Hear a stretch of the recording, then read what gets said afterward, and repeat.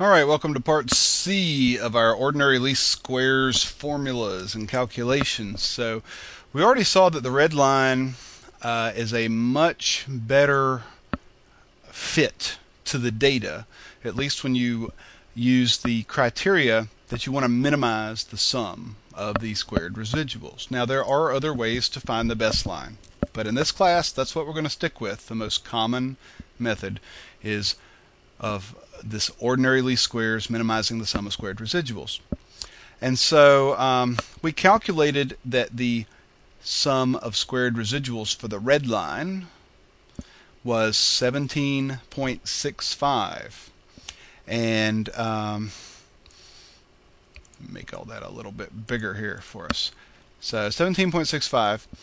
And um, of my blue line, my guess line was 50. And so you can see the dramatic difference between uh, the fit, the goodness of fit uh, between the two. Now, there are a few other things that we need to get to with, with formulas and calculations here.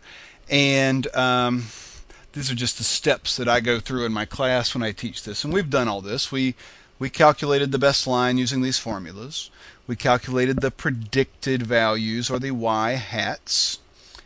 And um, we calculated the residuals of the four observations of our line right here. And then the next step that I always go through in my classes is adding the residuals up. And what will always happen if you add these residuals up, let me sum them, you're going to get zero. That's just a consequence of this formula that uh, you're going to get zero when you add up the residuals, when you minimize the sum of the squared residuals. Um, now, I did mention that I was going to show you uh, something on this line. So before I forget, let me do that. Another thing that is just a consequence of using this uh, ordinary least squares formula to minimize the sum of the squared residuals is that um, the line always goes through the mean of x 6 and the mean of y 8. It's always going to happen. I mentioned that before. But another thing I want to uh, show you is this formula for the uh, y-intercept.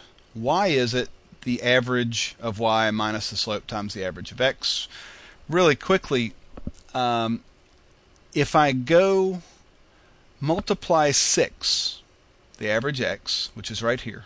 So we're starting at the blue, big blue point, and I multiply um, 6 times the negative of the slope, 6 times the negative of our slope, which was negative 0.884. 6 times that is going to say, let's go 6 over and then up how much? Well, we've got to start at 8 and we've got to go up to 13.3. And so all it is doing is using the slope times 6 to go up. It's like rise over run equals slope. Uh, this is slope times run equals rise between those two points. And um, that's how you get the y-intercept. So we start at the um, average x and the average y, and then we go over and up to find the y-intercept. That's what that formula means. Play around with those numbers, you'll see what's going on there. Now, um, if you add up the residuals, you always get zero, if we found out. Now, another calculation that's that's common to do in regressions is called the standard error of the regression. Now let me just calculate this real quick. If we know the uh, residual sum of squares, let me just copy that over here um, so I don't have to keep going back between the sheets. The uh, residual sum of squares is um, paste special values. Okay. If we take the residual sum of squares, divide it by n minus 2, n is how many observations I have, which is 4. So n minus 2 is 2. So I'm just saying 1 half times my residual sum of squares. So let's take this uh, equals h31 divided by 2. and then take the square root of it. So let me take the square root of that. Equals SQRT of that. This is what's called the standard error of the regression. It's a number of about 3. What does it mean? Well, what it means, and even though it's not quite equal to that, if I have such a small sample size, see that n minus 2 is hurting us here. Um, since n minus 2 is only 2. But in general, what that standard error of the regression means, it gives us an idea of the average size of the residual. It's not technically correct, but it's the way to think about what it means. Is that if I use this red line to predict values, then what's the size of the error going to be? The answer, about 3. Standard error of the regression. It means it's a common sized error that you're going to make if you use this regression for prediction. Around 3 is a, is a way to think about what it means. Um, technically, mathematically, people might uh, have a problem with that interpretation, but I'm more interested in you knowing what your what things mean um, than technically, you know, kind of understanding a, a good understanding, gut feeling is what I call it, of what things mean. That's not wrong. Uh, and sometimes I'll give you both ideas what's technically right and what's a way to think about it. So that's the standard error. Uh, approximately what might be the size of a common prediction error in this equation, prediction error. So uh, another common calculation is the total sum of squares. Look at the formula for the total sum of squares here. It's exactly the same as the formula for the variance of uh, data, except we're not dividing it by n or n minus 1. So it's just like you're calculating the variance. So a common way that I will calculate the total sum of squares is by calculating the variance and then multiplying it by n minus 1. And I'm just going to do it that way right now. But the gut feeling, what's total sum of squares? It's a measure of how much variation there is in my dependent variable, my y what I'm trying to explain. How much is that varying up and down, above and below its mean? And so the number itself doesn't mean much. Uh, it's just kind of a benchmark, as we'll see in a second. So total sum of squares, I'm I'm going to calculate it as, like I said, equals the variance of these numbers, the price. But I need to multiply the variance by uh, times n minus 1, or 3. 38 total sum of squares.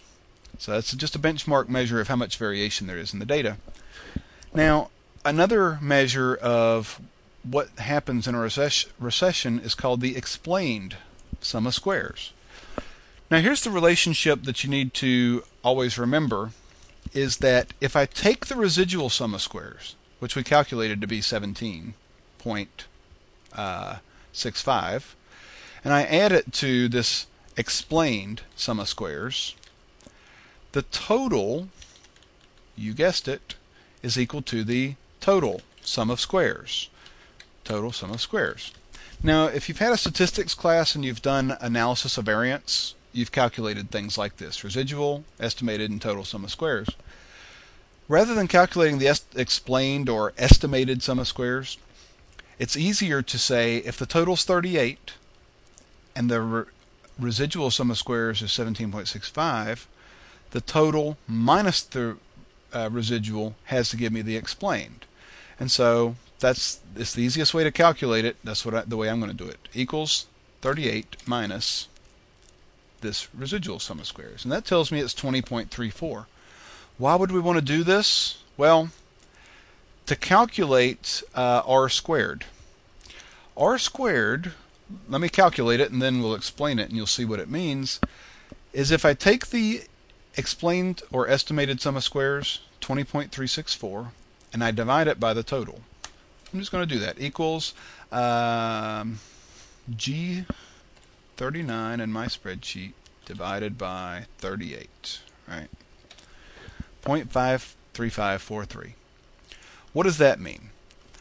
all we're doing is asking out of all the variation, the total sum of squares, out of all the variation in the dependent variable, price in this case, how much of it can we explain, ESS, versus how much of it can we not explain, residuals, right? So residual is how much we cannot explain in our data. So this is just saying that we can explain 53.5% of the total sum of squares, which is the total variation. We can explain 53.5% or 0.535 proportion of the total variation in y, and we can't explain the other 47% or 46.5%. Anytime you see r squared, that's all it's telling you is what percentage of the variation can we explain. And so I'm going to come back for one last part here and uh, clean up and calculate this other part called the residual sum of squares.